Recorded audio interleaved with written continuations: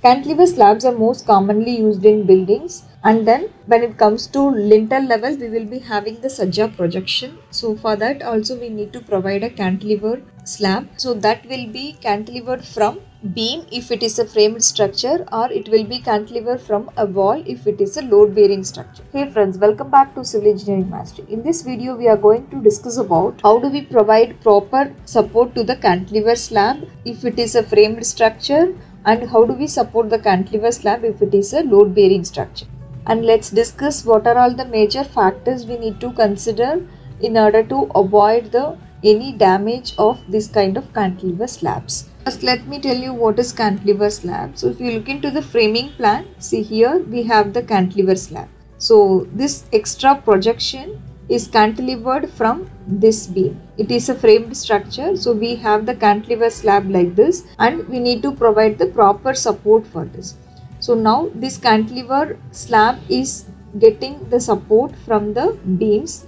The beams are connected to the columns. So cantilever means one end it will be supported and other end it will be free. Let's take this cantilever slab. If we draw the section it looks like this. So this is the support and here is the projection slab projection. Since it is a framed structure, the beam is the support beam is connected to the column. Because of this cantilever moment, we will be getting the torsion. We need to design this cantilever slab for W L square divided by 2. This is the cantilever moment. So for this moment, we need to design the cantilever slab.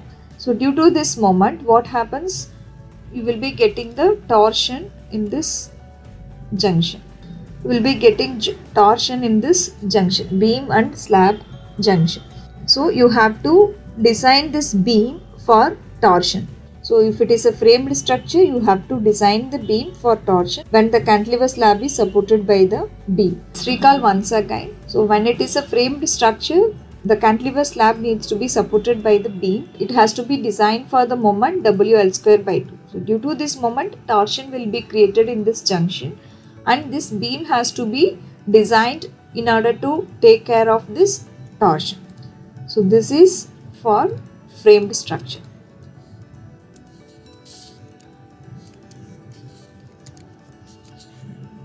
Next let's look into the load bearing structure. When it comes to load bearing structure, how do we support the cantilever slab? When it comes to load bearing structure, these kind of columns will not be there.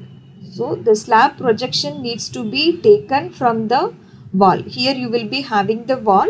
So the slab needs to be supported from the wall. In that case what happens? Let's make this one as a wall.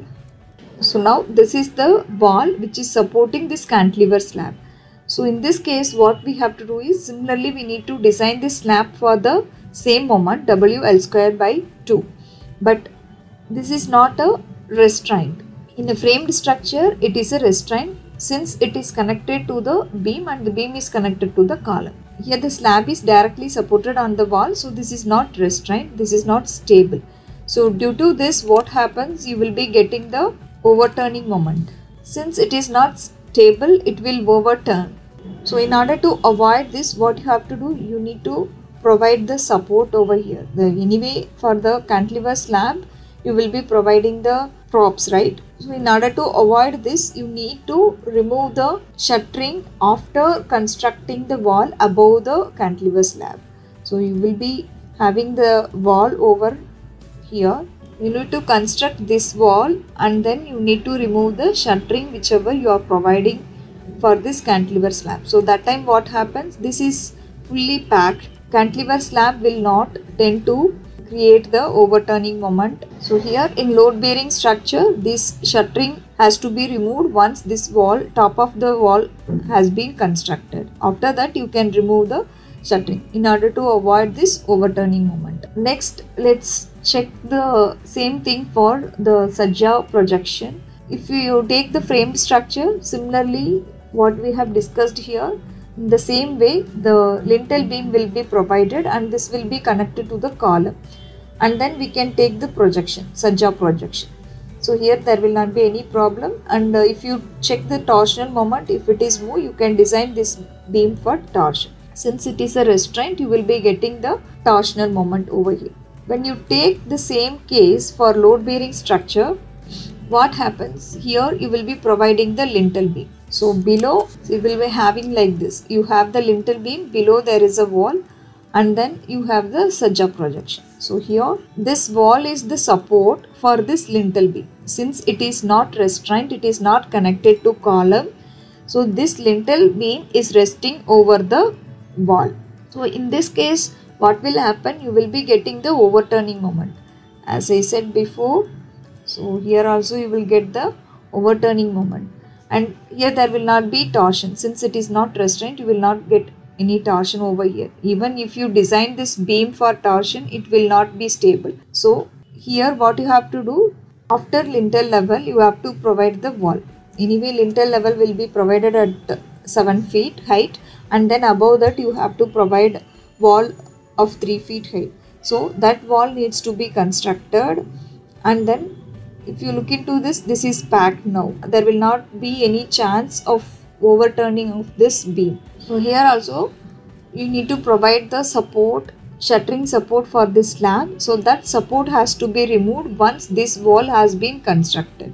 So after construction of this wall only you have to remove the support so that this cantilever moment will not create any overturning in this beam. So that this will be safe so friends, these are all the major things we need to consider while constructing the cantilever slab.